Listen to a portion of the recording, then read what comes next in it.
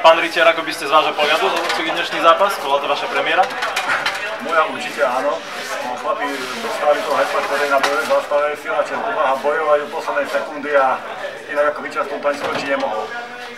To hodinové čakanie asi nebolo príliš príjemné, najmä v tejto zbroji, takže myslíte, že to nejak aj ovplyvnilo váš výkon? môj výkon, môj statický výkon to veľmi neovplyvnilo. Snáď možno som trošku viacej bavený, ale to určite všetci. Ako by ste zhodnotili fanúšikov dnes atmosféru? Fanúškovi boli úžasné, atmosféra, plný kotol, bolo to krásne. Naozaj ústá atmosféra. Postoj na tomuto zápasu.